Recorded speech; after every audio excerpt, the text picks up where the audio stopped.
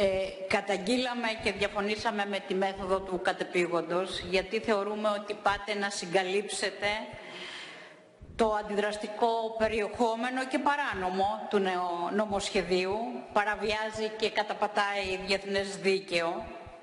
Εμείς θέλουμε να καλεστεί τουλάχιστον και να πει τη γνώμη της, είπα τη αρμοστία του ΟΗΕ και ζητάμε ας γίνει και στην ε, Ολομέλεια για λίγο χρόνο να τους δοθεί ο λόγος.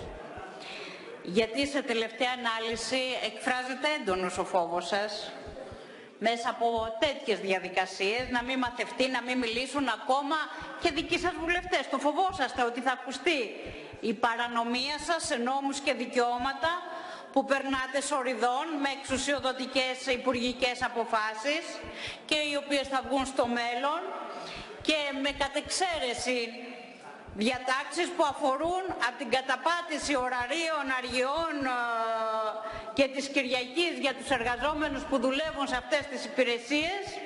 Και τότε γιατί τόσους προσλαμβάνετε, απορούμε και φτάνουν βεβαίως μέχρι την καταπάτηση δικαιωμάτων των προσφύγων που τους μαζεύεται σε κλειστά κέντρα συγκέντρωσης φτιάχνοντας παντού αμυγδαλέζες που θα διαχειρίζονται και θα έχουν ρόλο σε όλα τα επίπεδα οι αμαρτωλές, μη κυβερνητικές οργανώσεις. Μάλιστα, η παρουσία τους ε, βρίσκονται σε όλες τις υπηρεσίες και τα στάδια που αφορούν πρόσφυγες και μετανάστες, από την υπηρεσία ασύλου μέχρι τα hot spots. Γι' αυτό δημιουργείται μητρό πιστοποιημένων φορέων της κοινωνίας των πολιτών, δηλαδή μητρό ΜΚΟ. Πρόκειται ουσιαστικά για νομιμοποίηση της παρουσίας τους, αν και ξέρετε τον ύποπτο ρόλο τους. Βέβαια, η ιδιωτικοποίηση αφορά και άλλους τομείς. Βάζετε προεσταμένους στις λεγόμενες ανοιχτές δομές υποδοχής φιλοξενίας, ακόμα και ιδιώτες που θα συμβάλλονται με το δημόσιο. Δίνετε τη δυνατότητα ανάθεσης της φύλαξης ανοιχτών δομών υποδοχής ή φιλοξενίας σε ιδιωτικές εταιρείες security. Στην ουσία όμως τι κάνετε; Μέσα από το νομοσχέδιο ενσωματώνεται όλες τις μέχρι τώρα αντιδραστικές αποφάσεις της Ευρωπαϊκής Ένωσης που συνυπέγραψε η κυβέρνηση ΣΥΡΙΖΑ-ΝΕΛ από το Σεπτέμβρη μέχρι και την επέσχεντη Συμφωνία Ευρωπαϊκής Ένωσης Τουρκίας. Από τη δημιουργία των hot spot επιλογής ελαχίστων προσφύγων που θα, που θα μεταγκατασταθούν, αν γίνει αυτό, σε άλλα κράτη-μέλη μέχρι την επιστροφή στην Τουρκία. Προσαρμόζεται την νομοθεσία για το άσυλο και τους δικαιούχους διεθνούς προστασίας σε αυτές τις αποστάσεις σε πλήρη αντίθεση με το διεθνές δίκαιο για τους πρόσφυγες παρόλες τις υποκριτικές αναφορές και επικλήσεις στη συνθήκη της Γενέβης με τις αποφάσεις της Ευρωπαϊκής Ένωσης και το συγκεκριμένο νομοσχέδιο στην, στην πραγματικότητα καταπατώνται τα δικαιώματα προσφύγων, εντείνεται ο εγκλωβισμός τους στην Ελλάδα μετά και το κλείσιμο των βόρειων συνόρων, ενισχύεται δηλαδή ο κανονισμός του Δουβλίνου.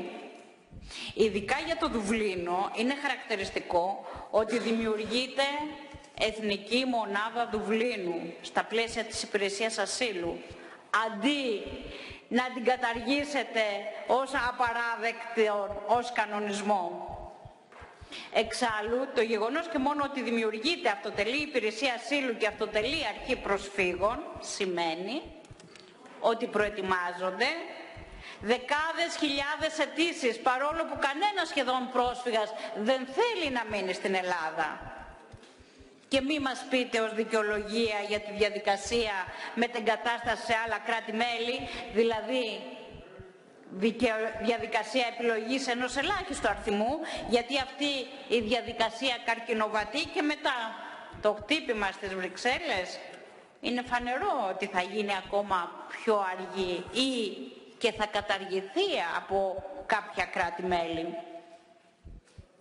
Το νομοσχέδιο λοιπόν νομοθετεί τα hot spots, δηλαδή τα κέντρα υποδοχής και ταυτοποίησης, με τη συμμετοχή και των μηχανισμών της Ευρωπαϊκής Ένωσης, δηλαδή Frontex και της Ευρωπαϊκής ε, Υπηρεσίας Ασύλου.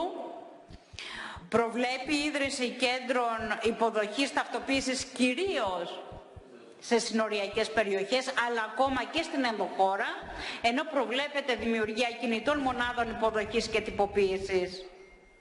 Ακόμα και κράτηση των προσφύγων και μεταναστών, αρχικά μέχρι τρεις μέρες που μπορεί να παραταθούν μέχρι τις, μέχρι τις 25. Στην πραγματικότητα, Υπάρχει το παράδειγμα του νέου τρόπου δίθεν υποδοχή στα νησιά, όσοι προορίζονται για επιστροφή στην Τουρκία, δηλαδή οι Σύριοι πρόσφυγες, που η Ευρωπαϊκή Ένωση και η κυβέρνηση αντιμετωπίζουν σαν μπαλάκι του πινκ με βάση την αναλογία ένα προς ένα μέχρι να απελαθούν στην Τουρκία. Γι' αυτό και μόνο σαν κοροϊδία φαντάζει η περιγραφή των ανοιχτών δομών υποδοχής φιλοξενίας. Ακόμα, με βάση το έσχος της Ιδωμένης και του Πειραιά, αλλά και των συνθήκων που επικρατούν σε αρκετούς οργανωμένους καταβλισμούς, μόνο σαν κακόγουστο ανέκδοτο ακούγεται ότι θα επιδιώκεται η διάθεση ασθενοφόρων στις δομές αυτές. Το νομοσχέδιο εξασφαλίστε τους πρώτα φαγητό και νερό. Εντάξει, δεν υπάρχει ούτε ντουζ, ούτε ντουζ στον Πειραιά. Το νομοσχέδιο κάνει κανόνα την κράτηση των ετούντων άσυλο, παρόλο που θα έπρεπε να απαγορεύεται ή εν πάση περιπτώσει να αποτελεί την εξαίρεση. Η πρόβλεψη για ολοκλήρωση σε έξι μήνες όλης της διαδικασίας εξέτασης των αιτήσεων ασύλου τόσο στον πρώτο όσο και στο δεύτερο βαθμό ακούγεται σαν μικρό αστείο όταν είναι γνωστό ότι μέχρι τώρα χρειάζονται χρόνια για να ολοκληρωθούν οι διαδικασίες. Με ποιο προσωπικό και με ποια εκπαίδευση ή μήπως ευελπιστούν στη βοήθεια ατόμων που θα στείλουν στα άλλα, τα άλλα κράτη της Ευρωπαϊκής Ένωσης; Αυτό που θα γίνει θα είναι η μαζική απόρριψη αιτήσεων ασύλου με διαδικασίες καρμπών, ό,τι δηλαδή έκαναν και οι προηγούμενες κυβερνήσεις.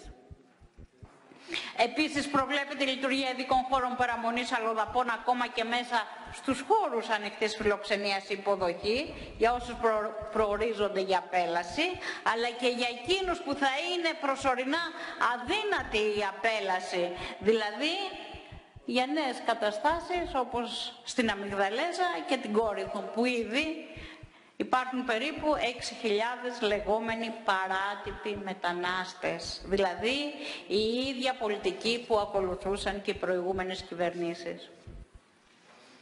Επειδή λοιπόν γίνεται πολλή κουβέντα για το ότι το νομοσχέδιο δεν προβλέπει την επιστροφή προσφύγων στην Τουρκία και ότι αντίθετα δήθεν προβλέπει όλες τις εγγύησεις του διεθνούς δικαίου για την μη επανοπροώθηση, εμείς σας λέμε καθαρά ότι δεν είναι καθόλου αθώα η ενσωμάτωση της οδηγίας 32 του 2013 που γίνεται με το παρόνομο σχέδιο.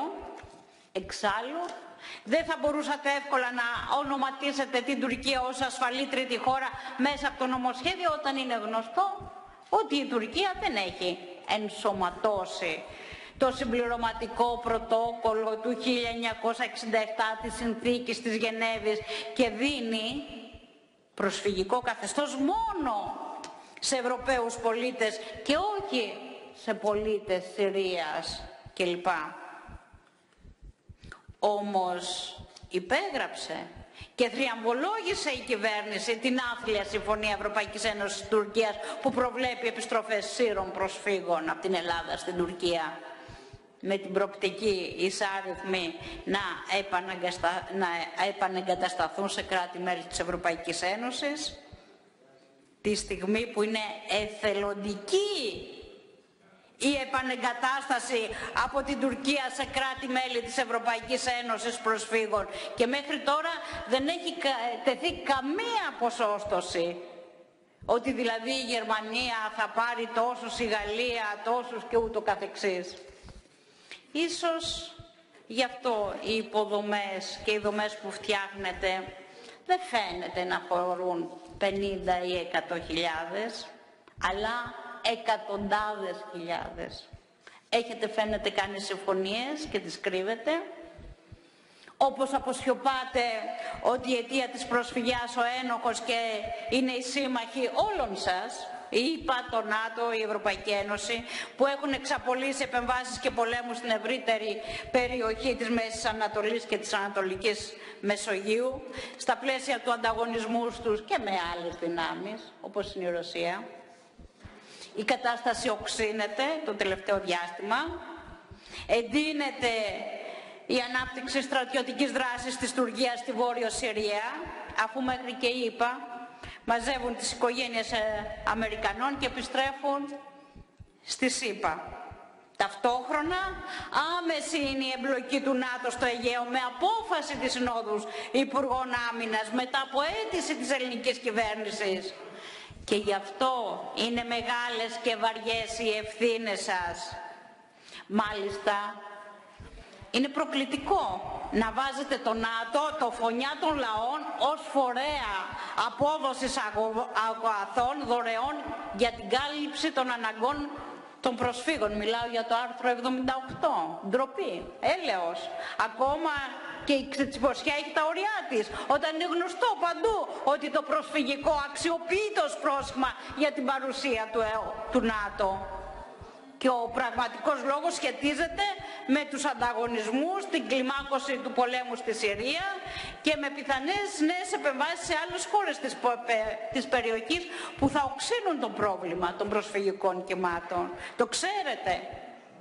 Και γι' αυτό με το παρόν νομοσχέδιο παίρνετε μέτρα εκτάκτων καταστάσεων για εκατοντάδες χιλιάδες πρόσφυγες που θα βλέπουν κλειστά τα σύνορα, φράκτες, δυνάμεις καταστολής, δακρυγόνα και φυσικά οι ετούντες άσυλο δεν έχουν το δικαίωμα να επιλέγουν το κράτος μέλος το οποίο θα ζητούν άσυλο. Έτσι ενισχύονται τα κυκλώματα διακινητών, δίνοντας και τροφή σε φασιστικές οργανώσεις, στο ρατσισμό και ξενοφοβία και στον οχετό της εγκληματικής Χρυσής Αυγής. Βέβαια, να σας πω εδώ που τα λέμε, ξεχάσατε και το άρθρο του κυρίου Μάρδα για πρόσφυγες επενδυτές, για να το περάσετε. Μέσα ίσως θέλετε να το περάσετε από την πληθώρα των υπουργικών αποφάσεων που διαπνέει ολόκληρο το νομοσχέδιο. Και δεν είναι ανέκδοτο, αλλά η απανθρωπιά και ο κινησμός όλο του το μεγαλείο. Συνέχεια της ΕΠΕΣ και της Συμφωνίας Ευρωπαϊκής Ένωσης Τουρκίας και όλων των αποφάσεων της Ευρωπαϊκής Ένωσης που κοιτάζουν στην τσέπη τους πρόσφυγες. Γι' αυτό και ορισμένα κράτη-μέλη χωρίς καμιά διαμαρτυρία από άλλους κάνουν και κατάσχεση στα τιμαλφή και τις οικονομίες των προσφύγων. Εμείς λοιπόν καταψηφίζουμε αυτό το νομοσχέδιο, πιέζουμε και θα σας πιέζουμε και θα καλούμε και το λαό να μην υπάρξει καμιά στήριξη στις αποφάσεις της Ευρωπαϊκής Ένωσης που μαζί με τη συνθήκη Σέγγεν και Δουβλίνο καταδικάζουν χιλιάδες πρόσφυγες σε εγκλωβισμό στην Ελλάδα παρά τη θέλησή τους. Να υπάρξει απευθείας ασφαλής μεταφορά προσφύγων μεταναστών από τις χώρες πρώτος, πρώτης υποδοχής όπως είναι Τουρκία, Ιορδανία, Λίβανος αλλά και από τα ελληνικά νησιά στις χώρες τελικού προορισμού τους σεβασμός στη συνθήκη της Γενέβης και του διεθνούς δικαίου, αναγνωρίζοντας τα δικαιώματα που απορρέουν από την ιδιότητα του πρόσφυγα και του ετούντος άσυλο για όλες τις εθνικότητες που αναγνωρίζει ο ΙΕ και που περιλαμβάνονται και οι Αφγανοί πρόσφυγες, να σταματήσουν τα αστυνομικά μέτρα καταστολής, αλλά και να ταξιδέψουν εκεί που θέλει η συντριπτική πλειοψηφία. Ε, αποχώρηση από το ΝΑΤΟ, του ΝΑΤΟ από το Αιγαίο είναι επικίνδυνη η παρουσία του.